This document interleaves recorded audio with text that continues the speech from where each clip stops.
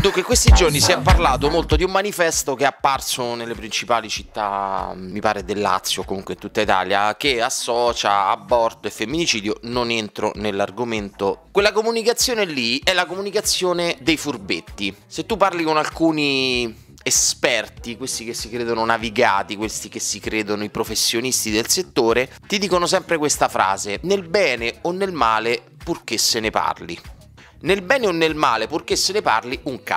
Questa tipologia di scelta comunicativa è appunto una scelta secondo me molto furba, supponente, perché non sei un genio ma sei un provocatore e non porta a nulla. A mio avviso sarà sempre la comunicazione sbagliata e tutte le comunicazioni di questo tipo, fateci caso, hanno fatto parlare sì di qualcosa, ma in quel momento, uno, due giorni, poi sono spariti. Comunicatori e campagna promozionale. Allora, questo chiaramente non è un attacco, è un, una mia antipatia nei confronti di queste persone che cercano di eh, fare delle cose stravolgenti, esagerate e la giustificano con l'importante è che si parli di questa campagna. No, perché è una pubblicità pessima per te che sei un comunicatore e per il cliente che non ha sicuramente raggiunto il risultato che avrebbe voluto comunicare qualcosa ad un cliente che poi resta colpito in maniera negativa da quello che hai detto non è positivo perché associerà quella pubblicità a te per sempre. Ne sono capitate milioni nella storia della, della comunicazione di queste, di queste, tipologie di cose,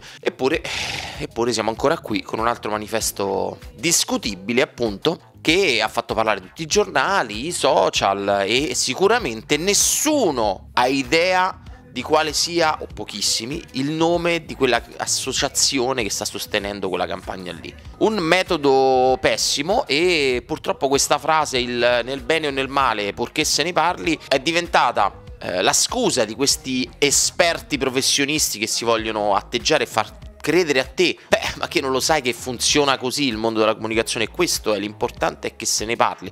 No, secondo me è diventata una scusa stupida per crederci gli Steve Jobs della comunicazione, quando in realtà probabilmente forse siete l'ischettino della comunicazione perché quello che viene proposto poi a un cliente lo fa affondare e quindi video antipatico oggi non fatevi intortare da questa cosa del nel bene o nel male purché se ne parli perché poi non se ne parlerà più. Di voi, ovviamente.